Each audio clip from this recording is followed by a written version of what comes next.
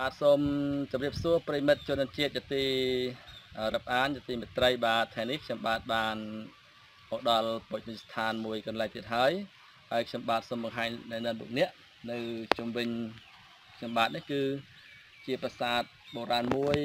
ដែលមានឈ្មោះថាប្រាសាទគុកយាងឬហៅត្រពាំងយាងបាទប្រាសាទនេះដែរគឺស្ថិតនៅភូមិគោកសង្កែ បាទឃុំខ្ចាស់ស្រុកសូត្រនិគមខេត្តសៀមរាបប្រទេសកម្ពុជាបាទប្រិមិត្តទីរាប់អាន បាទសូមអញ្ជើញទស្សនាវីដេអូឃ្លីបបន្តជាមួយយើងខ្ញុំទៀតថាតើប្រាសាទគូកយាងនេះ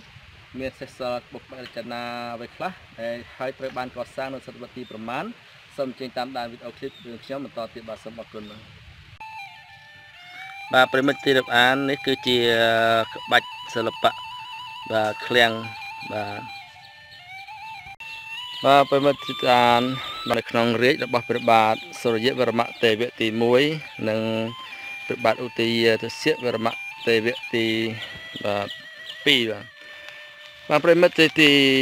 នឹករលឹកបាទសូមគោរពអញ្ជើញទស្សនារូបភាពបន្តបន្ទាប់ទៀតបាទនេះគឺជាបាទបាទថ្មបៃក្រៀម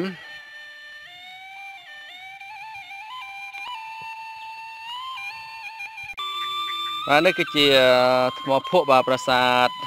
គោកយានេះ គឺមាន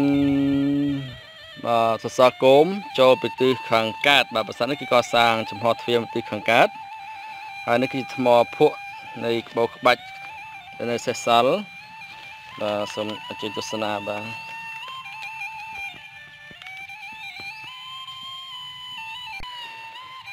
បាទនេះគឺជារោងតងមួយនៃប្រាសាទគុកយាងបាទ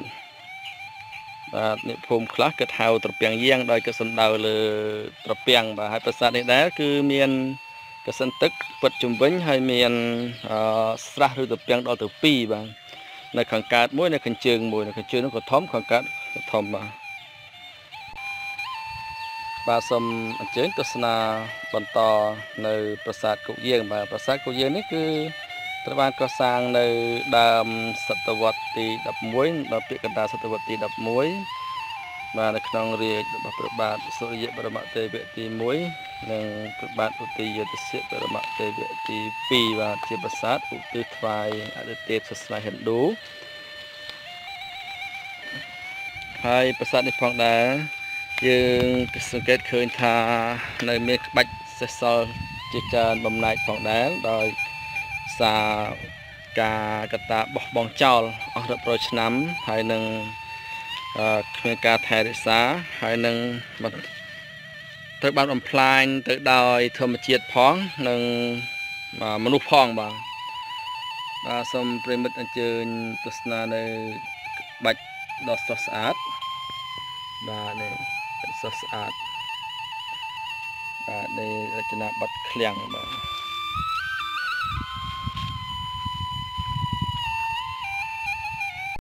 បាទនេះហើយជាគុណតម្លៃជាភស្តុតាងរស់របស់ខ្មែរយើងបច្ចុប្បន្នដែលខ្មែរយើងមានបាទពពាកបរោះដូនតាដូនយាយយើង ជាអ្នកបាទកសាងនៅបុរស្ថានមិនថាឧទ្ទិសចំពោះសាសនាហិណ្ឌូឬក៏ពុទ្ធបាទ សិតតែជាស្នាដៃរបស់ដូនតាយើងទាំងអស់បាទយើងអនុជនបច្ចុប្បន្នយើងគួរណាស់តែថែរក្សាបាទដែលនៅសេសសល់ដើម្បីបាទបង្ហាញនៅជនបរទេសទៅទាំងពិភពលោកឲ្យបានស្គាល់ថាខ្មែរយើងជាពូជមួយដ៏អស្ចារ្យដ៏សម្បើមដែលបានកសាងនៅប្រាង្គបុរាណ បាទប្រាង្គប្រាសាទបុរាណរាប់រយពាន់កន្លែងផងដែរបាទ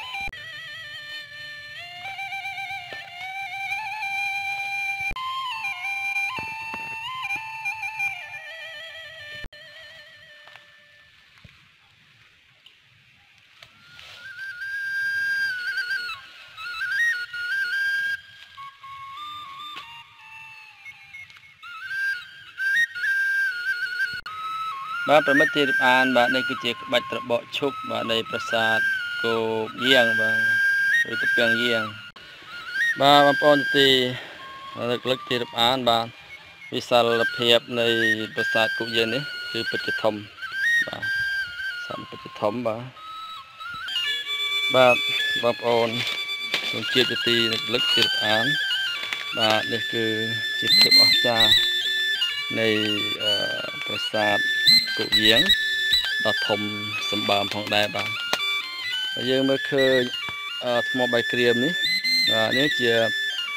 ជួរនៃប្រាង្គកណ្ដាលនៃប្រាសាទគុយាងបាទអស្ចារ្យបាទបាទនេះស្ដុតធំថ្ម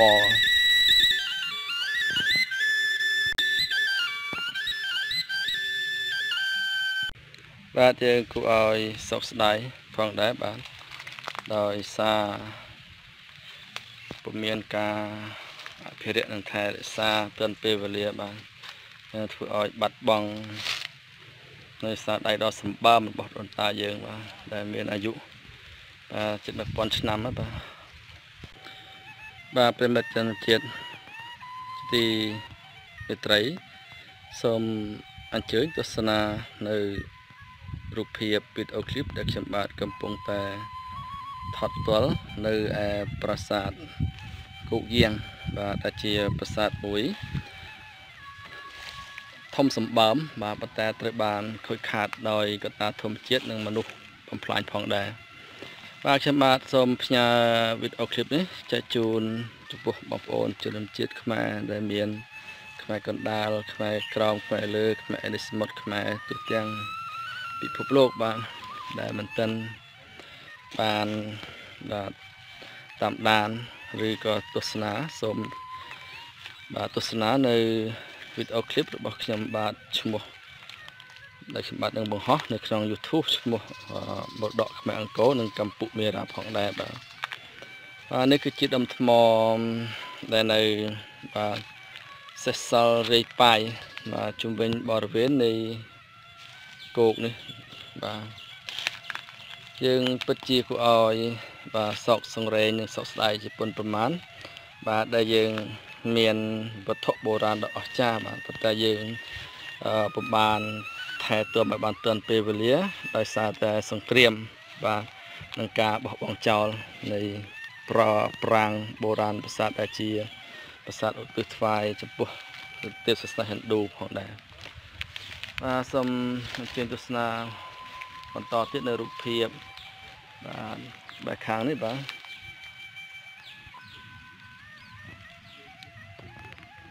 បាទនេះគឺក្បាច់ដ៏ស្រស់ស្អាត